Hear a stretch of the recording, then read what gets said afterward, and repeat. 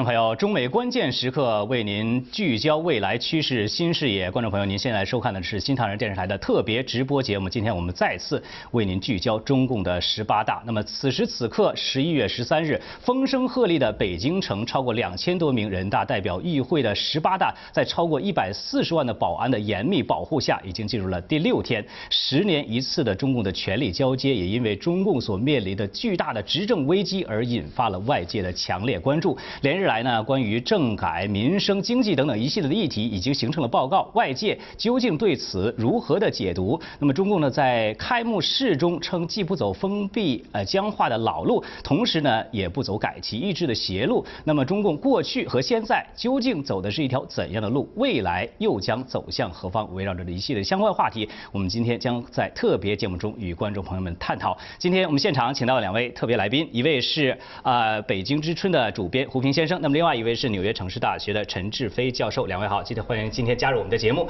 今天在整个的现场节目中，我们将随时连线本台的新闻中心，请主播林兰为大家介绍有关十八大的一些情况。同时呢，我们将连线两岸三地和世界各地的专家学者来讲述共同关注的十八大的议题。呃，同时呢，我们今天的节目的话呢，也将呃通过四大频道，呃国际频道、亚太频道、中国频道和纽约频道，通过各地的卫星星和有有线电视向全世界播出，同时呢，我们的节目也可以通过网络及时的收看，收看的网址是 www 点 ntdtv 点 com。中国大陆的观众朋友呢，可以通过爱博电视或者是中兴五号和呃这个呃韩星韩星五号和中兴。二号卫星呢，及时的收看。那么爱博电视呢，可以不通过翻墙软件而及时的收看。同时，我们的节目呢也进行啊这个两地联播。那么现在此时此刻呢，呃亚太电视台台湾呢也正在现场直播我们的节目。好，今天我们回到今天的主题，我们再次关注一下。虽然看连日来开了几日，那么有关于中共这个十八大首日开幕式上的胡锦涛的这个呃报告的话呢，就引发了热议。尤其是他关于这个不走封闭僵化的老路。呃，要而同时呢，也不走改旗易帜的邪路。究竟各界呢有不同的一个解读？那么究竟对中共而言，何为邪路？呃，这个何为呃正路？现在的中共开十八大，那么今年呢，中共呢又面临一个王立军出走以及薄熙来呃被踢出局这么一个特别微妙的政治或者说危难的时刻，是所以说他要走哪条路，他他之前走的什么路呢？更值得引人关注。那么相比于去年就是吴邦国中共党内第二号人物的人大所抛出的中共绝不搞宪政这条路，当时说绝不搞，就是非常以不屑的态度口吻说的这种话，还是比较中性的，绝对不搞宪政这条路。中共现在在呃胡。锦涛在开幕式上说的这句话呢，就明显比较带有敌视的味道。就说，我们不搞这条事是邪路，他把定义成邪路。这个问题就说明，在今年这个历史的这个微妙的时刻呢，这是确确实耐人深思的时刻。因为为什么呢？因为随着王博事件的这个发酵和曝光，大家都期待着中共以及及党内的所谓的健康的力量，能够利用这个时刻呢，能够彻底抛弃中共这个已经应该扔到历史垃垃圾堆的衣钵，重新走上自行之路，是带给中国人民的光明。但是从胡锦涛这个讲话来说呢，等于给这。希望之火扑扑了一，就是说把它浇灭了。这个的确是在这个时候呢，是非常就是说啊，让人很很多方面呢觉得有点气，有点突然或者有点有点就是说难以接受的地方。嗯，胡平先生，您您这次有什么补充？呃，我想他胡锦涛这个话，当然就无非就表示了，就是他不会进行政治改革，呃，不会进行这个人们所期待的这个这个，特别是民主化。那那这两块当然毫无疑问让大家都非常失望。但另一方面呢，我想，呃，这个情况应该也是我们事先能够估计到的。嗯，那么从两个角度来说，第一个角度来说呢，那就是中中共这么多年来，特别是六四这么多年来，就已经把中国引向了一条邪路。嗯，二十年来以后呢，这个积重难返。那单不谈别的问题，单单是经济上的这种高度腐败。那么，所谓这个大大小小的官员，呃，几乎都是腐败分子。呃，如果今天进行政治改革，大部分官员恐怕都要面临着在经济上被清算、被追究。呃，那么使得这个统治集团呢，就是完全靠着这种犯罪，呃，团结在一起。那么他们就会顽强的抵制这个任何带有自由民主色彩的这种改革。这是其一。呃，第二呢，那中共现在现行的这种体制呢，是本身就是种就是最保守的体制。因为我们看他这个权力交接，你看得很清楚，嗯，这个权力交接，他从来就是拖泥带水。你想，呃，从江到湖那儿，湖掌了权，但是后头还要江那儿当个婆婆啊。那你现在你习近平上台了啊，那你背后又是江泽民，又是胡锦涛，而且你周围的那同事呢，那不是你选的呀，都是别人搭配的呀，对不对？你按宪法说，我们都知道，那总理就应该是由国家主席提名，由人大常委会批准。但是我们谁都知道，这个李克强这个总理根本不是习近平挑的，对不对？早就给你配上了。这个原来温家宝这个总理也不是胡锦涛挑的，就包括李鹏那个总理也不是江泽民挑的，那都不是，对不对？都是给你搭配的。你想想看，你美国你谁当了总统了啊？那什么这个内阁部长，那当然就是由他任命的了啊。你在这个议会制的国家，你当了总理了，那么那你就有阻隔的权。呃，那过去皇帝新新皇帝上台了。所谓一朝天子一朝臣啊，他都必须有这么一个整体的更换，你使新人上台才有施展新政的机会。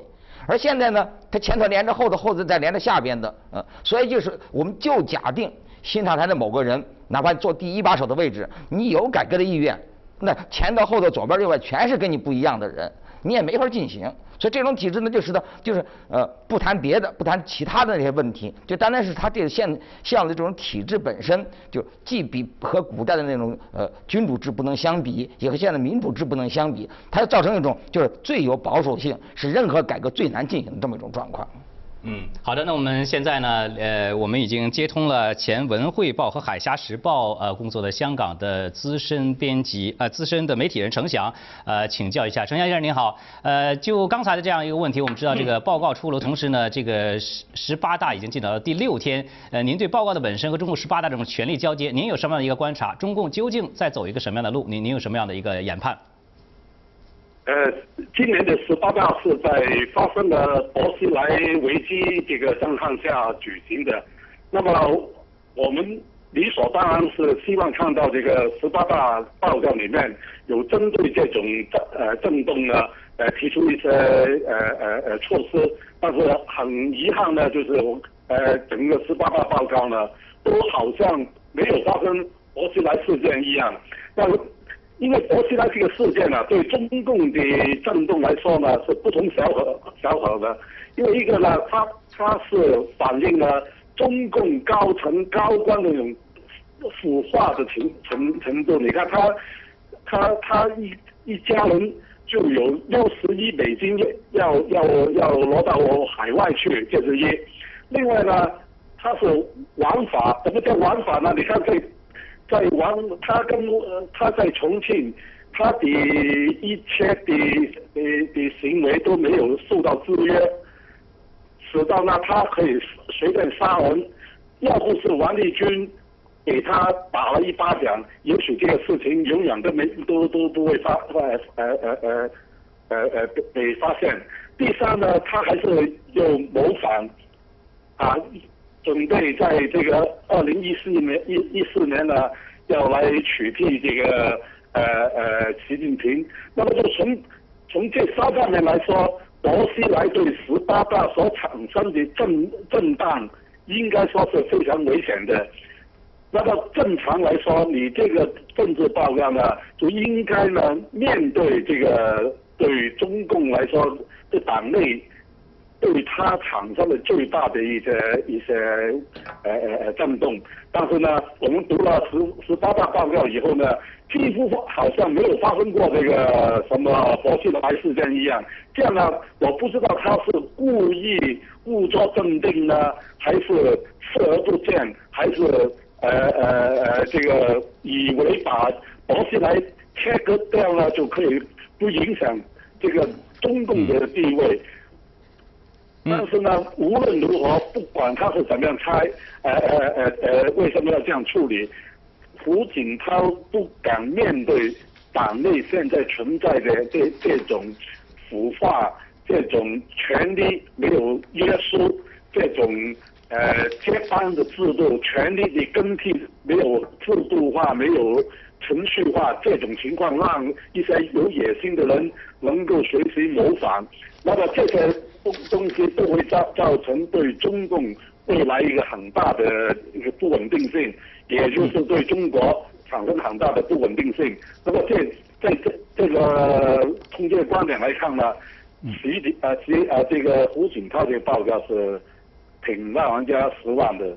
嗯，好的，谢谢程霞先生的观察和分析啊。那我们知道，呃，有另外一个呢，就是说对中共这个这个改革呢，实际上我们知道中共的官方媒体的话呢，多次提到改革。那么在胡锦涛的十大十八大的这个报告中有八十六次提到改革。那么在此前的话呢，有很多人对中共的改革呢，哈抱有很大的幻想，但是外媒呢却不这样认为。那么《华尔街日报》称中共当局的言行呢，打了改革希望者一记响亮的耳光。我不知道就这样的一个评论，两位有什么样的一个就改革的议题有什么样的一个分析？就刚才说大家对这个都很失望，对胡锦涛的报道定了调子。那么改革好像也是一个啊不可实现的这么一个空想。实际上呢，从中共一贯的言行来说，胡锦涛的言论一点也不令人奇怪。所以说也不也不因为你们无所谓幻想对中共的话，也就对他也就没有任何期望。那么他的改他的这段不呃讲话呢，可能也是中规中矩。为什么呢？如果你纵观中共的历史，尤其他近三十年来的这种行为，改革实际上是他的一个就是狗皮膏药。来给他自己涂脂抹粉用的，因为没有一个国家，没有一个政党，一个改革的方案可以进行三十年，无休无止进行下去。好像中国共产党现在已经不叫中国共产党，而叫中国改革党。改革改到哪里去？改多少年？改到什么程度？改革到最后的目标是什么？一无所知。从商鞅变法，从王安石变法到奥巴马的医改，它都有具体的规定。那你中共，你给我们拉出一个时间表啊？你说你哪天要开放党禁、报禁，呃，军队国家化？你如果有这种意愿，即便你说给我十年、五年，我可以等。你现在连这个空头支票你都不给我，你说你改革改的什么？这不是明显的掩人盗铃来一叶障目吗？这是其一。其二的话呢？中共，您刚才问了一个很大的问题，一时说不清楚。但是今天我我想主要讨论我这个这个方面，因为我最近也做了一些方面一些做一些考量。从经济出发，我觉得很多人都认为现在中共碰到了前所未有的一困难。那么有人说的经济能拖垮中共，但是我觉得不尽然。因为如果经济能拖垮中共的话，早就拖垮了。而且呢，如果经济能拖垮中共的话，我觉得中共老百姓如果看到了经济下降，他也就会想到，哦，之前经济情况还好过，他可能还给中共留一点希望。所以说，你纵观中共整个发展史，实际上经济是它一个核心部分。中国老百姓或者外界老觉得中共走的是一条典型的马列主义道路，其实我觉得不是。因为你从它的发家开始打土豪分田地，然后内战的时候又搞出什么让山东的八路军到东北去抢田抢地，啊，去推小车支援那个淮海战役。它的方针口号是什么呢？到了东北以后，楼上楼下电灯电话，因为当时东北的那个整个的经济基础是亚洲。首屈一指的，那他建国之后又搞什么论十大关系、感英超美，对吧？他实际上一直吊在中国人面前的是一个胡萝卜根，要让让中国人民用经济诱导的方式呢走他的专制的这条路。这就是为什么呢？我们看到中共在历次的这种中这这整个共产主义运动内部来说，它都是一个极端保守的、极端顽固的。所以说，有人现有人也提到，我自己也讲到，现在中共的历史。跟八十年代苏俄的历史非常相似，但是为什么这个变化在八九年的时候我们就差一层窗户纸没有捅破，三二十多年之后还没有捅破呢？就是因为中共它走的并不是一个有理性、有哲学方针思哲哲学方针指导的这种思想这种道路，所以它的道路呢，按照斯大林话的的的话说呢，就是封建道路。虽然苏共在很多方面令人不齿，搞了很多大屠杀，但是中共的历史比苏共还要丑恶，还要就是邪恶。所以说，推动它一定要从道德方面对中共进行一个全面的批判，使全民能够统一得到统一的认识，这样才能真正的把中共赶上历史舞台。嗯，我不知道胡平先生对政改的本身的话，您有什么呃这个呃评价？嗯，我想改革这两个字这么多年早已经这个变了味儿，嗯，那么中共之所以还要把改革这个词挂在这个口上呢，那是因为就是连他自己也不得不承认现行的体制有很多很多的问题，嗯，一旦他放连这个词他都放弃的话，我想他自己他觉得就更难做交代，嗯，但是就改革，人们最先提出改革。他们那种要求、那种诉求来说，那么共产党所搞的改革早就已经离题万里。呃，对共产党来说，那个就像大家早就讲过的一样，就是你改革找死，不改革等死啊。那么之所以明明知道改革是对共产党就是找死，那为什么还要希望他改革呢？那无非就是希望你死得早点，对大家都好。另外死得早点呢，你也死得好好看一点。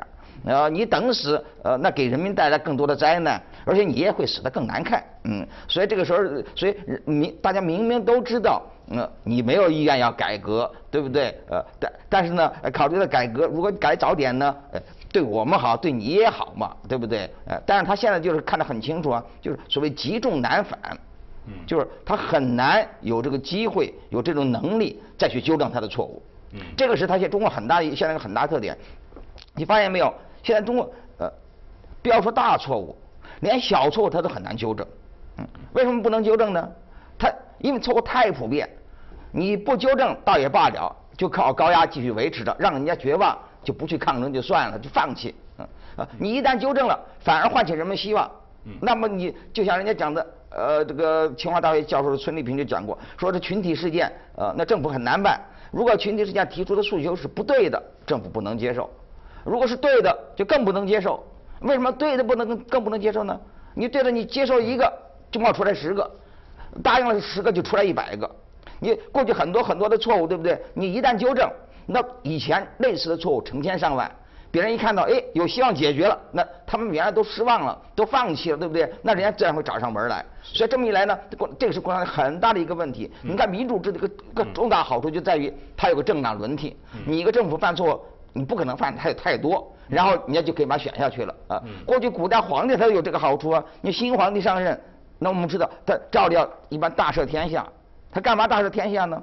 就是给他把他老子犯的错给卸包袱嘛，又不好意思说老子搞错了，对不对？那那我们先赦了再说，啊，对不对？这样子呢，他就有些问题他就把它化解掉了。你现在他一条他都不能做，我们可以看得很清楚。比如说法轮功的问题，那明明当时是江泽民就是一意孤行干下去的，那我们当中接触到很多中共的官员，没有几个表示赞成的啊。所以很多人以为那胡锦涛上能能改呀，对不对？又不是你的事儿，你干什么不能改呢？他也不敢改。对不对？他不敢纠正。你现在习近平他们一样的，你对习近平寄很多希望。他同样这个问题，首先他权力都还很有限。那么先都说，哎呦说他得让他巩固几年权力。大家没想到，他如果让他巩拿几年权上台好几年，不进行任何改革，先巩固几年权力，那几年过后之后，那江河湖犯的错误就成了你的错误了，对不对？你就背上了嘛，对不对？因为你不改，什么叫不改？呃，不改不是不改就意味着你要继继续镇压。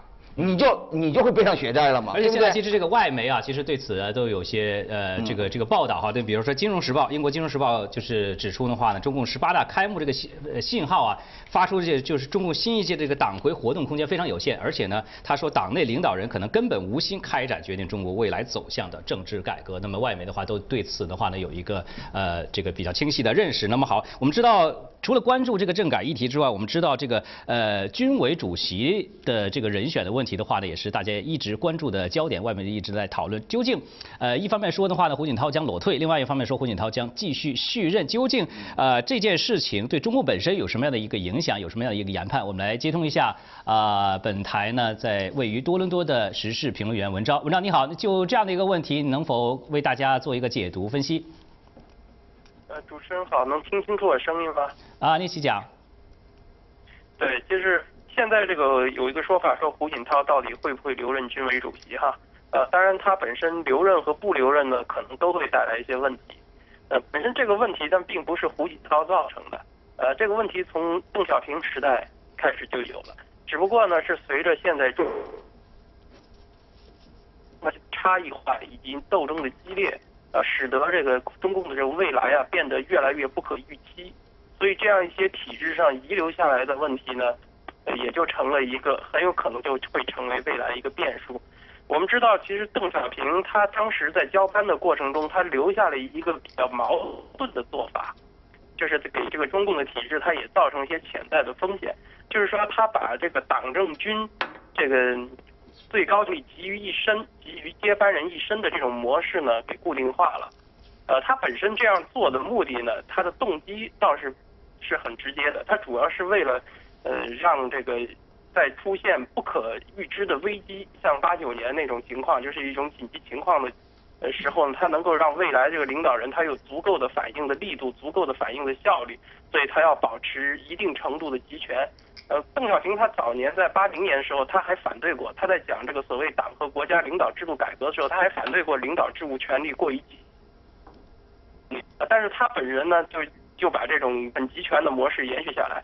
呃，你究其根本原因是因为中共的危机是常态化的，所以他需要集权常态化，他才能够有做出足够力度、足够效率的反应去呃去应付这些危机。但这里面他又又做了一又又一个跟这个本身目的又有一个相反相矛盾的做法，就是说他当初在选接班人的时候，他不太放心，对十三大以后呢，他是。从这个中央政治局退出来，但是他保留了军委主席两年的时间，一直到这个八九年的十一月份，他才把这个军委主席的职务交给了江泽民。他又开创这么一个先例，就是在一段时间内让党的最高领导人总书记和这个军委的最高领导人军委主席这两个职务分治了。那这样呢，这个江泽民又延续了这个模式，现在这个球就到了胡锦涛手上。就是胡锦涛会不会还继续延续这个模式？他要再延续这个模式的话呢，就很可能就把这种做法制度化。那这种做法，它确实是给对共产党来讲呢，是有一个潜在的危险。哎。嗯，好的，谢谢呃文昭的分析哈。那么有关于这样的呃，我们知道胡锦涛在这个十八大的讲话中的话呢，也谈及了许多中共面临的挑战，就包括这个贫富差距啊、环境破坏啊、城乡不平衡的发展。同时的话呢，就是如何解决这个经济疲软，满足党内和公众呃要求更多的这个开放政府的呼声的这个新的思考。针对这个方面，我不知道两位有什么样的观察？这个方面呢，就是刚才我还可能接着可以接着接着说，因为刚开始有谈到一些经济方面的问题。由于经济呢，中国好像在过去二十年当中吧，尤其近十年进入世贸啊协定之后呢，有一些进步吧，尤其在接。外国这个订单以及国内老血汗工厂制造产品替外国公司打打工这种方面呢，好像制造了一些就业机会。但是我们也可以看到，中国社会的贫富分化现在是达到了危险的边缘，或者已经超过了警戒线。因为人家说到现在的中国的基尼系数的话呢，呃，已经达到了接近百分之零点五，零点零点四的话是警戒线。那么这个数字呢，在数年前中共当局已经拒绝向外部透露，而另外一个中共当局。现在拒绝透露的消息，从零九年开始就没有透露，就是中国群体事件的数目。其实从零五年就开始拒绝透露。零五年最后一个中国官方数据是每年的群体事件是八万。那么中共自己党内就中华清华大学他自己的学术机构得出的结论是，零五年以后群体事件到二零零一零一零年已经翻了一番，你其实已经达到了十六万。那就是说，这个整个的社会矛盾丛生。那么，社会矛盾丛生，在一个经济繁荣的情况下，这是令人很难理解的。这肯定是跟中共的腐败以及它这个繁荣的代价。很有关系，因为它它这个繁荣肯定是剥夺人的权利，污染了环境啊。就比如今天中共的这个所谓国务院也做出了最新的通知，是所谓大的这个项目基建项目一定要通过所谓社会风险的这种评估，那就是因为针对了它呃浙江啊还有大连一些把这个呃危险的化工厂建在自己家后院这种情况。啊，not my backyard，西方叫这种情况所做出最新解读，那就这这也是一个矛盾的一个现象的一个产生。那么在这种大的形势情况下，中共能否度过它难关？我觉得不仅体现在经济方面，因为从经济方面的话，中共可能还有外汇底存可以笼络人心，更多的我觉得是啊，他用这个经济方面这个冷冷落的手段呢，拉拢了亿万的人民群众。让让人们对他抱有幻想。那么他现在如果用这个金钱来笼络不了人心的时候，那么他面临的实际上是一个政治上的一个困难。嗯，我想谈中国的这个各种问题呢。好的，由于时间关系，好，观众朋友，您现在正在收看的是新唐人电视台的特别直播节目《中美关键时刻：未来趋势新视野》。今天我们再次为您聚焦中共的十八大。我们先休息一下，广告回来之后呢，继续讨论。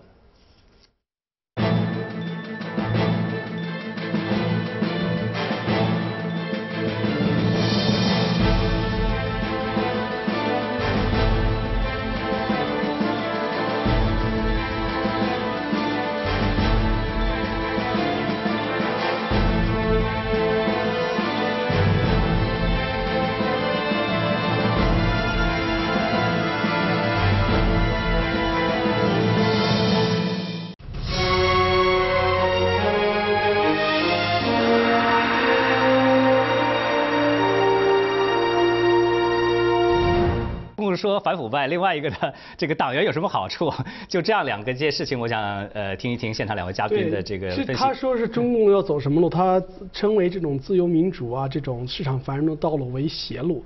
可是呢，我们看到的实际上现在是中共这种特权阶层暴富。然后呢还自往自己脸上贴金，说自己上进，同时他也把自己的子女送到海外来读书，送的子女的对象全部都是原来八国联军来源的地方。那么他一方面对中国老百姓又洗脑，说我们中国共产共产党能够让我们洗刷百年的这就是耻辱，因为八国联军原来一九零零年入侵了我们，怎么怎么样？可是他现在纷纷把海外子子女送到海外，据称现在将离任的这个九个政治常委当中八个，他们子女都在海外受过教育，而且现在有很多就在海外读书。那么即将上任的大部分的孩子也都在海外读书。那么他们如果认为西方的民主之路是邪路，他们为什么把孩子送到海外让他们走邪路呢？这些家长难道自己呃没有想清楚这个问题吗？从梁稳根这个身上，我们的确看到了中共他的现在的一个实质。中共走的路既不是资本主义道路，也不是所谓的马列主义，它就是一个集权专政的这么一个历史上最腐败、最落后的这么一个就就是特权之路。这就从梁稳根这个身上能够得到最明确的体现。嗯，我想梁稳根这句话，他实际上就是很坦诚的说，呃，入党就是为了追求功名利禄，就是为了追求金钱美色。嗯，实际上在今天这个共产党员这个名声是很臭的。呃，那有这么一个故事嘛，是真实的故事，就是一个女大学生啊，她去这个找工作，呃，去和那个经理面试，啊，那经理一看她的履历，说：“哎呦，你还是党员呢！”他就听了就急了，他赶快说：“他说党员也有好人呢。”，那这个话，这个它不是个段子，它是个真实的故事。就在去年，上海交大的一个某一一个这个学生的一个他们党支部就讨论这个问题，就为这个问题就很困惑，说我们怎么党员这个形象成了这个样子了？然后他们就为这个事情写了封信。给上海市委书记这个俞正声啊那个俞正声呢还还回了这封信，还去他们那儿给交代给他们讲党课，讲党课第一句话就讲的这个故事，那就说明他们都知道是这个样子的，这个不是别人损共产党人能自己编出来的，那共产党他们自己都知道啊，他个政治局委员他都知道是这么个情况，你可想而知了，所以就早就有人说过嘛，你那那都是几十年前说的话了。那就是呃苏联的政治笑话，就说这共产党员就是呃共产党员啊正直和聪明这三者不能兼得。如果你又正直又聪明，你肯定不是共产党员啊。如果你正又正直又是党员，那你肯定不聪明啊。如果你又聪明又是共产党员，那你肯定不正直啊。那么这已经是几十年前的问题了，到了今天事情就更简单了，我们都可以把聪明那条去掉啊。那就是你是正直，你就不可能是党员；你是党员就不可能正直啊。那所以这个这一点呢，我觉得实际上，共产党纯粹成了别人太追求升官发财、金钱美色这些人的一个入场券啊，而和真正的理想道义是毫不相干，呃，而且截然相反。那么谈到在我们再谈到刚才那个话题关于反腐败的问题呢，呃，事实上那个呃，中共尽管口头上一一直在喊反腐败，这次十八大政治报告也在谈反腐败。有个网友就说了。说我学习十八大的体会总结：第一，要坚决反腐败；第二，腐败是制度性的问题；第三，制度坚决不能改。这不就都回去了吗？对不对？而且实际上我们知道，现在对中共现政权来说，腐败实际上是维护他政权的一个最主要的武器。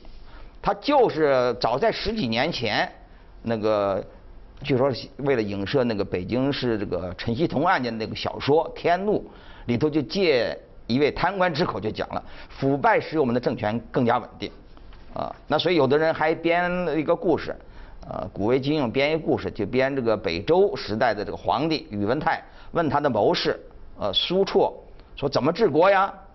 那个苏绰就说用贪官反贪官，那此话怎么讲呢？为什么要用贪官呢？他说。你要那官员为你效忠，呃，为你服务，他凭什么呀？你就得给他好处啊，呃，你没有那么多好处给他，你就得让他去搜刮民脂民膏啊，你就得让他贪，对不对？你让他贪，他才能有好处可得，他才能够维护你的政权。哎，宇文他觉得有理，那为什么还反贪官呢？哎，他说当然得反贪官啊，对不对？哎，他说官呢不怕贪，就怕不听话，对不对？他贪了，他就有把柄在你手里头，什么时候你看他不顺眼了？就可以把它抛出来，以反贪的名义把它抛出来，对不对？啊，嗯，因为大家都贪，所以贪本身不是罪名。但是呢，你等于有把柄在皇帝手里，啊，你要不听他，他就可以整你。而且呢，你可以借反贪为名来要来来赢得民心。你看，让老百姓看，哦，都是底下当官的不好，那皇帝还是好人，对不对？呃，另外呢，你通过反贪官，可以把贪官那个掠夺的财产，你据为己有，变成你的了，这不是一举几得吗？那那现在，所以鲍彤也讲啊，现在中共特别高级官员中，那真是无官不贪。像鲍彤他都说，如果我还在体制内，我也得是贪官。啊，而且他怎么讲？他讲得很清楚，你不贪不行的。他举的讲得很很形象。他说你要说你看，哎哎，那高官当然不用着去偷鸡摸狗了，不用搞行贿受贿了，他有更多的方式。他就问，哎哎，你你的儿子也当个什么什么什么 CEO 吧？哎，那他说我不当啊，那你不当，那你不当怎么行呢？你的儿子不当，那我们儿子都不好当了，对不对啊？你就成异类了。对啊，那不行，那你得当。你要是不当。就会把你赶下去了。嗯，就是刚才那个胡斌先生说的这个鲍彤是前中共党内的这个赵子阳的秘书，这其实也是六四的时候呃叱咤风云的人物。但是呢，从历届的中共的这个政治运动啊，也涌现出不少的弄潮儿。而最近这三十年呢，中共人民呢对中共当中有些良知的人呢又抱有希望。从赵子阳就开始有中共的良心之称，后来又什么胡文新政。啊，一一茬一茬的传下来，之前还有啊所谓的对这个前总理这个这这这个谁的那个幻想啊，就是朱镕基的幻想。所以说到现在是不是还能对胡温啊不之后的这个习近平又有什么新的名词，又有新的幻想呢？我觉得就是说，接着刚才胡明先生说的一句话，群众当中呢对中共。对党员也有一个别的说法，就谁如果入党了，他可以说哦，我们的群众队伍又清洁了一些。那么我们中国民众能不能把这个说法推而广之？就是说我们对中共的党员嗤之以鼻，对梁永根这种人嗤之以鼻。我上回节目提到了，女士找男朋友不找他，如果你是谁家当兵了，对吧？我原来叫光荣军属，我现在叫。狗狗腿子党卫军的后代，这个东西如果形成普遍的风气的话，这才是真正挖的中共的墙角。所以我就是说，一定要在理性上要批判中共，这样才能真正的就是说让让中国人民走向新的未来。有关中共的历史的话呢，我想请两位的话呢，给观众朋友们回顾一下。那么也有评论说的话呢，中共是靠谎言和暴力来维系着它多年的这个历史。那么刚才呢片子中也写到了，在中国有大概八八千万人呢死于这个中共的这个魔掌爪。之下，那么在全世界范围内有数据称，带有几亿人的死于中共的这样的一个魔爪之下。那么两位对于中共的这个整个的历史有什么样的一个评价？中共的这个历史啊，他走的这个路啊，的确是血迹斑斑，一路走来来，一路走来血雨腥风。他党内首先就山头林立，互相残杀。在他所谓的中共苏维埃时期，他党内为了争权夺利呢，制造了 A B 团事件，当时就红军自相残杀，就残就杀死六千六六千六千甚至上万的人。这个在他统治还在处于萌芽时期，他的血性就可见一斑。所以他的这个走的路呢，并不是可以用人类历史。或人类的任何的思想，就是意识形态来归归纳的，它完全是加这个山大王的这个流寇思想，加上封建的特权，以及加上对人最根本的劣根性的这种唤醒和控制，所造成的这么一个邪教团体，这是我觉得一个呃最充分的这么一个呃描述。因为如果不这样看的话，就你如果拿苏共的这个靶子这个参照物来看呢，中共的永远超出于它。比如我给你举几个例子，就是刚才我第一段讲的话没有说完。比如说在赫鲁晓夫时代，苏联对斯大林犯下的罪行，在三年之后，也就是五六年苏共二十大的时候，就得到彻底的清算，也就等于说。中共如果要对毛泽东所犯下的罪行得到像苏联那样快的清算的话，在八零年的时候，毛泽东像就应该从天安门长城城城楼上拿下，而且全民都要对毛泽东进行肃清。所以现在人们对苏共的这种八九年的这种觉醒，认为是戈尔巴乔夫新政所带来的，所以 Glasnost Perestroika。实际上，在五六年的克鲁晓夫上台的时候，他就有这样的决心，有这样的理性。那么再说到另外一点，中外界普遍认为啊，就是苏共一段血腥啊镇压，就是所有。党内的一己和他自己补充国的，对他不听从他意向的这种国家，比如说典型的例子就五六年入侵匈牙利和六八年入侵捷捷克斯伐克，这样是呃现在呢苏共解体之后呢，内部材料显示五六年的时候，戈尔那个赫鲁晓夫对纳吉政权并没有这种就是屠杀的意思，是当时处于共产党阵营第二大国。的这个中共在周恩来和毛泽东的怂恿下，极力的对苏共施加压力，逼迫苏共出兵。也就是说，如果说呃苏共是美国当中的一个靶子的话，其实中共比他走得更远。那么现在我看到的今年夏天就吉辛格写的《论中国》那书中也提到这一点，在五六十年代呢。美国这个当权者啊，美国的这个政治阵营当中呢，普遍认为中国中共是比苏共其实走得更远，对西方民主阵营呃呃危险更大的这么一个这这么一个邪恶团体。那么就说明他的这种野蛮性啊，完远远不是是一个理性的人士所能解决的，也能所能所能理喻的。这也就是为什么在八九之后呢，呃苏共倒了，但中共还严惩了，财源狗转狗转了这么多年。主要我觉得就是因为我们这个群众啊，呃中。广大的中国人民可能还是在对中共走什么路，中共将来走什么路啊，能带来什么样的一种变化，抱有过多的幻想。这样的话，如果不对他进行反思的话呢，其实中共能活多少年都是未知数。如果你让他呃这样跟他下去，认为当公务员好，对吧？像梁猛根这样觉得当党员能够取得特权，能够使外表很光鲜，那么中共长命百岁也有可能。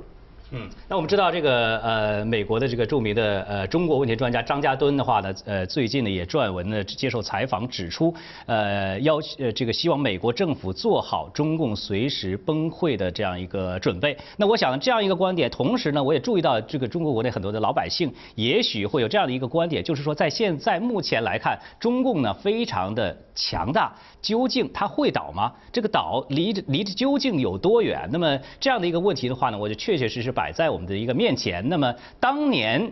呃，东德也好，这个苏联也好，究竟是怎么样一个状态？那么，呃，这个大纪元呃驻欧洲的总编辑周磊的话呢，最近就采访了东德的当时的二号人物。那我们来接通一下周磊，来谈谈这方面的情况。周磊你好，那我知道你最近采访了这个东德的二号人物哈，我想当时的情况呢，也是很多人不相信这个东德呢会这个呃一下子就倒塌和覆灭。那我们也知道，中共十八大召开的第二天也。就是柏林墙的倒塌。那么，呃，我想请你介绍一下有关你采访的情况和呃当时的这个采访的感受。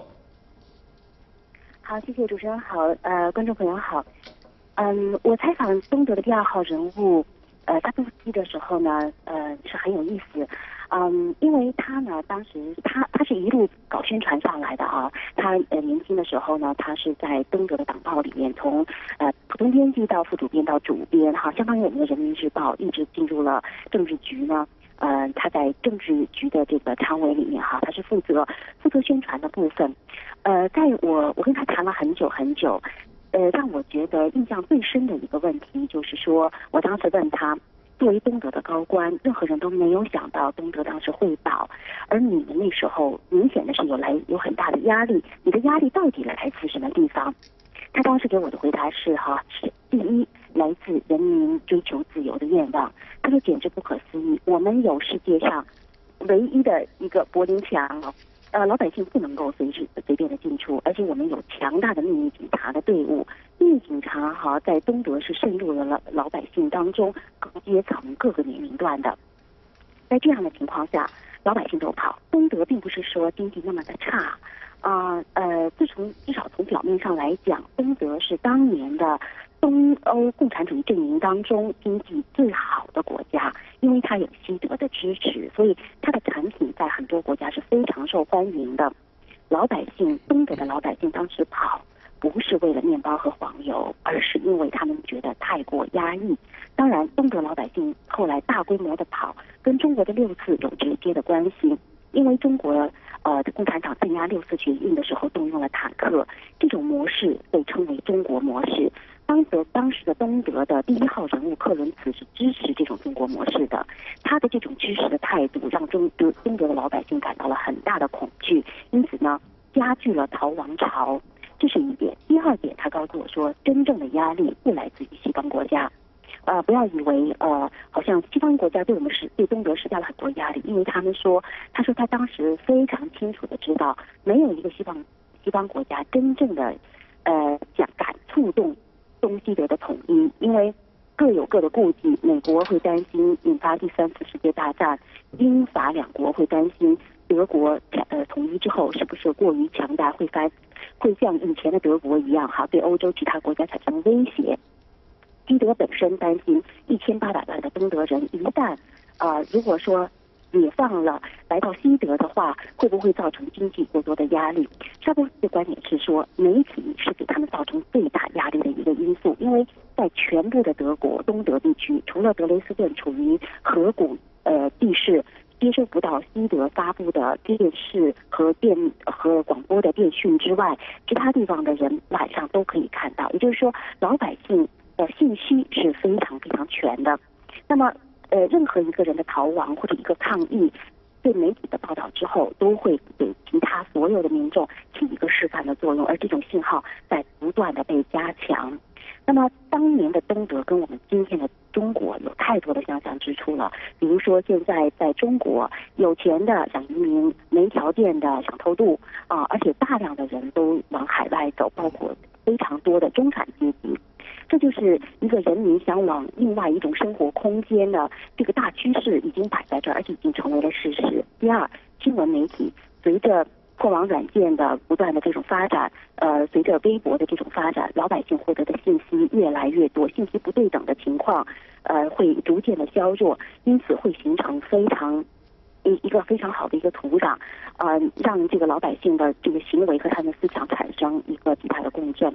还有一个特点是说，当时的经东德的经济是经济起来败絮其中，因为他们表面是说好，可是实际上是非常依赖西德的。当时最后一任的这个东德的共产党的政府，他所做的唯一所有的改革的举动，都是为了证明给西德和西方国家来看。这一个呃，这一届政府是有执政能力的，从而得到支持，因为他们怕一旦这种海外的支持消失的话，他们所有的这个呃这个败絮会完全的暴露出来。这一点跟中国的目前的情况也非常的像，也就是说对外国投资的依赖超强。嗯，好，谢谢周磊的呃观察和分析。那么就同样的问题，我想请教一下现场两位嘉宾。那么对于呃中国大陆的这个部分民众有这样的看法，究竟有多遥远，还有多近？那两位有有有什么样的观察？呃，我想张家墩先生的观点我一直有保留。呃，另外这个我觉得问题不是说建议美国政府嗯要随时做好这个中国崩溃的这种准备，而是你美国政府你要积极的行动起来。去影响帮助中国的变化，呃，你在这坐着等是等不来的，嗯，相反呢，你可能等会会相反的这个完全，嗯，和你愿望相反的效果，呃，事实上这么多年来，六四之后二十几年来，中国中共政权能够维持到今天，和西方世界他们的对华的错误政策是有很大的关系，包括经济上的这种输也是起了很大作用的，嗯，那么这里现在中国的问题呢，我觉得，呃，我们不能简单，它和东欧那些国家相比，嗯。如果在六四之前，那相似之处是非常多，嗯，所以才中国也爆发了那种举世震惊的八九民运，嗯，但是六四之后呢，就是中国走上一条不同的道路，就和这也就和这个原来那个苏联东欧就都有非常重大的不一样啊。那么你想，当年苏联东欧呃国家面临着民众反抗的时候，为什么他们大部分国家他们镇压不下去？这个就和当年中共像赵子阳。这些官员他们不愿意这样是一个道理，因为他们都知道过去做的他们那套是错误的，嗯，就是他们没法说服自己去扣动扳机去下那个手，呃，你想经过文化革命那种各种各样的灾难之后，呃，那不要说胡耀邦像赵子阳，包括一般的官员都认为再也不要搞运动了，再也不要整人了。所以在八九年之前，虽然邓小平那儿也动不动就老反自由化，但是我们看到的是呢，老是雷声大雨点小。反了，他根本就反不下去，对不对？嗯，因为就没有人愿意整人，就都觉得这个不对。而你共产党这个政权呢，就是建立在整人基础之上的。你一旦不整人，你就瘫痪掉了。那么这个是呢，因为中那东欧国家他们同样的情况啊，所以他们当时不，你一旦放弃了镇压，自然就和平演变就发生啊。而你中国有了六四。它这个情况呢，再加上中国后来的一些变化，这使得中国今天的中国要比一般人估计的复杂的多。而对这一点来说，我觉得不仅仅是我们中国人自己，包括西方，他们都还有很多认识上的不足。如果不把这个问题解决的话，我想这个呃这个我们所期待的中国那种迅速的变化，恐怕还未必能够轻易得到。是的，我们这也正是分析中美关键时刻的这个美中关系的如何的走向。那么这未来的这些议题的话呢，我们在下一节继续讨论。观众朋友，您现在正在收看的是新唐人电视台特别直播。节目在美中关键时刻，未来趋势新视野。我们先进下广告，休息回来之后呢，继续讨论。我们同时呢，也在将节目的第三节结尾开通观众热线，欢迎您拨打。一会儿回来继续讨论。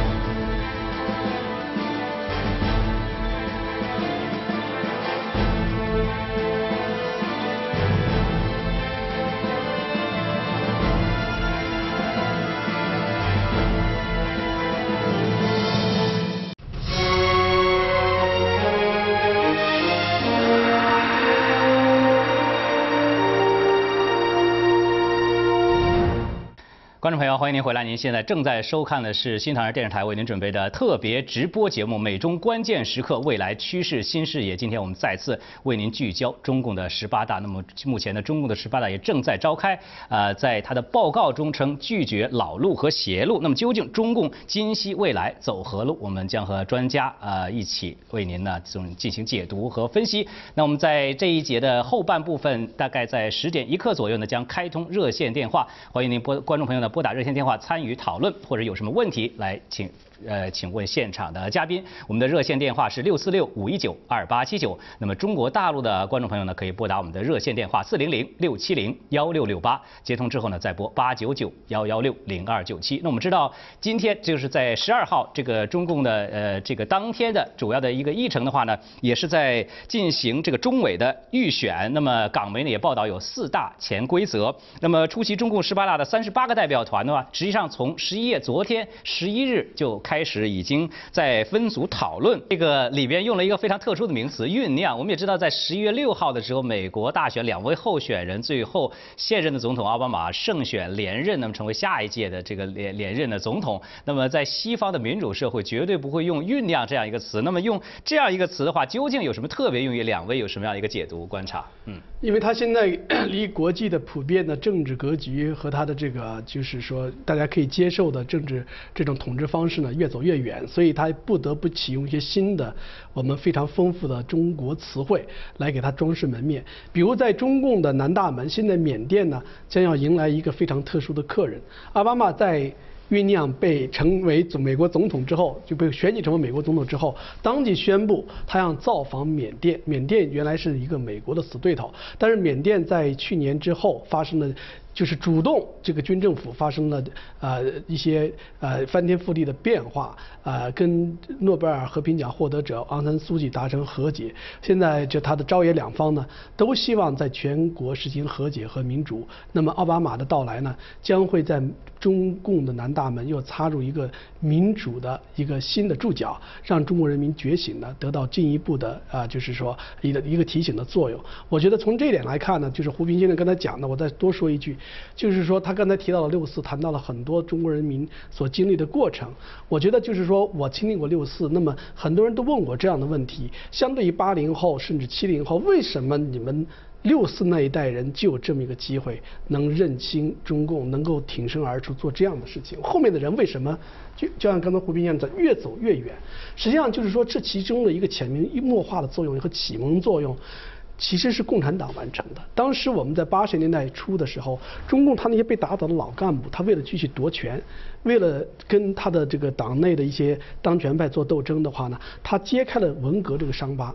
他揭开了伤疤，没想把中国共产党这个毒脓给流了出来。因为当时我们小的时候会看到什么《天云山传奇》啊，什么伤痕呐，甚至这个张先亮的什么灵米肉啊，他们当中虽然描述的是个人的故事，但其中血淋淋的现实让我们感到共产这个统治很可怕。但是自六四之后呢，中共把这个短暂的小阳春呢就彻底封闭了，在文学艺术，甚至在网络。封锁，刚才周礼先生提到了网络封锁哈，网络方面的宣传，但是它其实起到了一个非常禁锢人思想的作用。所以现在你在跟后代人在了解，在跟他们交谈，你就会发现那种开放自由的思想，现在被一种冲动和一种完全原始的这种啊年轻的这种激进的思想，所谓愤青所代替。他们没有思想，完全被中共作为一个手中的走卒和呃打手来起作用这样的作用。这从八十年代大学生的角度来看是非常悲哀的。所以说。我我们作为新唐人的一员呢，我们的确要传播自由的思思心和思想自由的声音。这一点起潜移默化这个启蒙思想，的对于这个让人们抛弃对中共的幻想呢，是至关重要的。嗯，我想他这次是呃这个十八大，刚才就刚刚谈到介绍的一样，嗯，因为他面临一个很大的问题，大家都知道，这个党代会和人代会一样，都是橡皮图章，代表都是表决机机器，嗯，但是现在他面临越来越多的问题。那就是你现在已经没有强人了，指定接班人这种办法呢，看着也像走到头了。那么就面临着一大堆大佬，那他们之间怎么样进行权力分配，就成了一个问题啊。那在正常情况下，就是那必然在这里面就就会很自然的导向民主，因为只有投票才能大家服气。你要不靠投票，因为大家都是大佬，谁也不比谁资格更大，谁也不能把谁轻易搞一下，那我们怎么办呢？没有别的办法。所以很多国家它民主也是这么就走过来的。而你中国现在为什么它老走不到那儿去呢？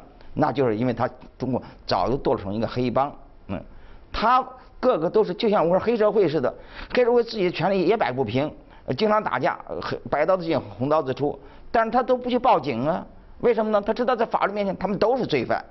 对不对？所以他们内部有这么多问题摆不平。你看到十八的开会前，各种信息传出来，而且确实是不断在变化，就说明因为他已经走离开了那个强人时代，离开了指定接班人的时代，他找不出一种办法能够就是达成共识的、都能接受的、服气的这么种办法确定他的权力分配啊。他又拒绝民主啊。而在这个情况下，为为为什么那么多还愿意抱团还不愿意这个诉诸民主？本来说他们就大家就要求民主了嘛，我们对不对？凭本事、凭选票，他们都还采拒绝这办法呢，就是因为他们知道，一旦开放那个，那整个他们这个船都会翻掉。所以这个实际上。我觉得是我们现在必须要看到的一点，只有把这点看得很清楚，才能对这个共产党他会做什么，会不会做什么，呃，有个比较准确的判断。现在接几位观众朋友的电话，首先是加拿大的何先生，何先生您好，您有一分钟的时间。呃，大家好，中共维持政权的手段，无非是暴力加谎言，对付这两手，真相是最强有力的武器。我们。不必抱怨西方政客对中共的姑息。再来接一下纽约的陈先生电话，陈先生你好。哎，你好，你好。嗯，您请讲。啊，就说呃，就中共啊，他就说他已经啊，这个十八大已经这个下一任领领导人已经是选好了，根本不是他是人民人大来选的，根本人民根本投票机会都没有，是不是？就说他这种。嗯，这种专制制度啊，就是不得人心的，就是啊，在海外也好多人都了解真相了嘛。好，嗯，好，谢谢陈先生，这个评论一下，嗯，对，就是观众啊，都明确的提出了对中共不要抱有幻想，这是很明确的。因为加州的楚先生，啊，从他的口音看出来，也确实来自于楚地，好像是很浓重的湖北口音。湖北啊，就是是辛亥革命的发源地。那么他说的老师虽然没有点清名。民他的民信啊，但我们可以看出，他的确是一个反共的意识。那么为什么从五十年代以来呢？这个这我们民众对中共的这种啊，相对来说它暴政的觉醒程度还不够。我觉得很大程度就是我们宣传还有各方面的这种啊这这啊这这这这种力度啊呃没有做到加。从现在开始，我觉得就是说这方面要加强。那么呃这这也提到了这种某先生以及楚先生刚才提到了另外一点，就是说呃在全民举行公投，但是这个公投的前提。必须要明智，要觉醒。如果明智不觉醒，很多人都像刚才那位什么，觉得入了党可以找到漂亮媳妇儿，可以或者说可以获得更多票子的话，那么你这个公投也白搭。所以是某种形式其实并不重要，谁入场也不重要。中共刚才为什么内部权力那么激烈的争斗，是因为他们。这这完全都是有一种山头的形式啊，来互相牵制。如果江泽民不不出现，那么他追来追他的小喽啰就认为江泽民已经失势了，他必须怎么衰弱，他也得强争着出现。这样的话，他们在能够在互相争夺权力当中呢，取得一一一一勺就是这种他的利益。所以从这点来看的话，我觉得中共的确是非常脆弱，但需要我们民众推他一把，把他推下历史的舞台。嗯。好的，那我们知道最新呢，我们也也得到这个呃一些情况，关于微博上的也在呃有这样消息透露出来。当然真伪的话，我们现在还不知道。就是有关中共的政治局常委的人数问题。那么因为目前中共呢现在内斗非常的激烈，有可能呢在外界盛传的这个七人的话呢，再次变回九人。当然，由于中共的这个黑箱作业到最后的时候的话呢，我们还会知道，就是说在十五号的时候，北京时间十五号上午十一点的时候，中共已经宣布政治局所有的常委的。话呢，将会出来集体亮相，呃，面见这个中外的媒体。那么，究竟针对这个中共的内斗和这个呃这样的一个消息，两位不知道有什么样一个分析和研判？呃，就关于这个成为七人九人之说，一直有这个有很多这个分析，很多不同的预测。呃，那实际上它这个很大程度上就取决于对大佬们把这些人先摆不摆得平。嗯，因为他们从理论上一方面也都认为七人比九人要好一些，可能会效率会更高一些。但是呢，问题是他有资格进入常委的人，呃，那么恰恰他是不止七，呃，对，他有多的，啊，嗯，那薄熙来已经出局。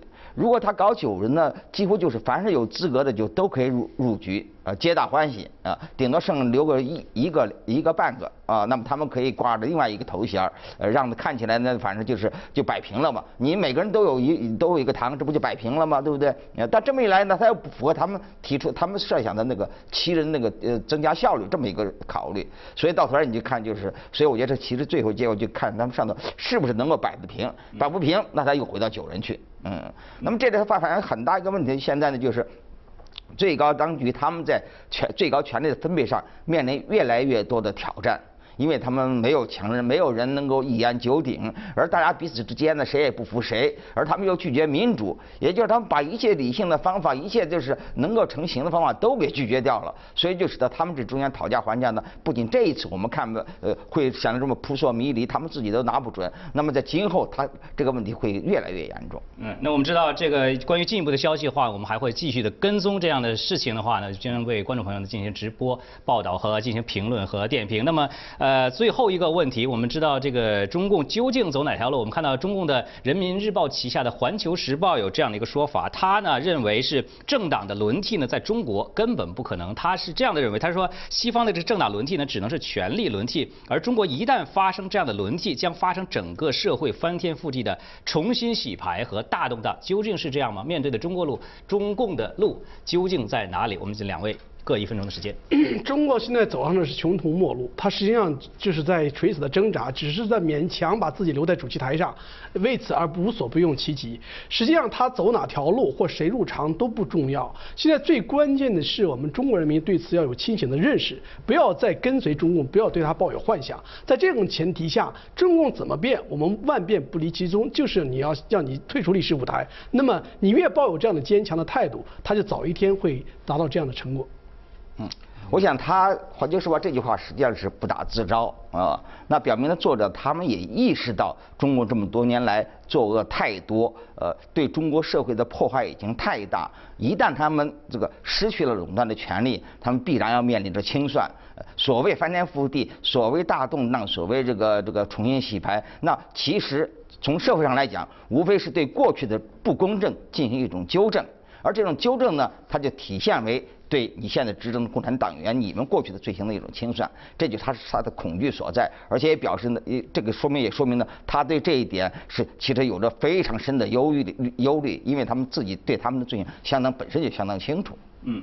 好的，好，非常感谢现场两位嘉宾的点评分析。观众朋友您现在正在收看的是新唐人电视台的特别直播节目《美中关键时刻》，为您展现未来趋势新视野。我们在美东时间十四号和十呃这个十三号和十四号晚上九点到十点半的时间，再次为您聚焦中共的呃十八大，为您分析解读，同时也伴随着中共的闭幕式。那么当时九常委出现的时候呢，我们正在直播的时刻，欢迎您关注新唐人电视台特别直播节目。感谢您的收看，我们下期节目再会。